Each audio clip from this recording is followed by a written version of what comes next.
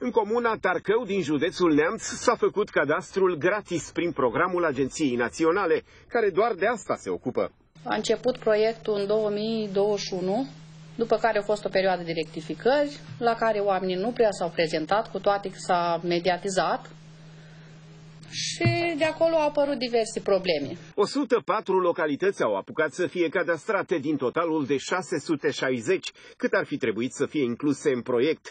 Agenția de Cadastru și Publicitate Imobiliară a cheltuit mai puțin de jumătate din cele peste 300 de milioane de euro din fonduri europene alocate până la finalul anului trecut. Trebuiau întabulate 5,7 milioane de hectare și s-au făcut doar 1,6.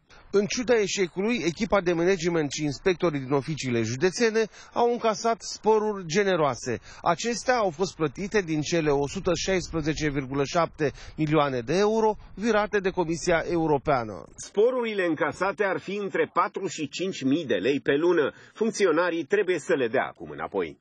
E o chestiune firească, un bonus care să-i motiveze pe oameni să scrie proiecte, să utilizeze banii aceia adecvat numai că dintr-o excepție a devenit aproape o regulă. Adică și oameni care doar ating o hârtie care are legătură cu un proiect primesc acest spor sau bonusul respectiv. Uh, în situația de față, oamenii au încasat sporuri, iar obiectivele proiectului nu au fost atinse, deci firesc ar fi ca acei bani să fie dați înapoi.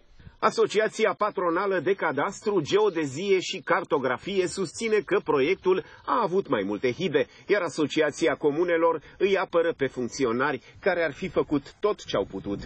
Contracte echilibrate, pentru că în contractele pe care ANCPI-ul le încheie cu prestatorii, obligațiile prestatorilor sunt pe două pagini, iar răspunderile agenției în două rânduri. Indiferent de ce rezultate le văd acum. A fost un program foarte bun, chiar dacă sunt situații de necheltuire normale.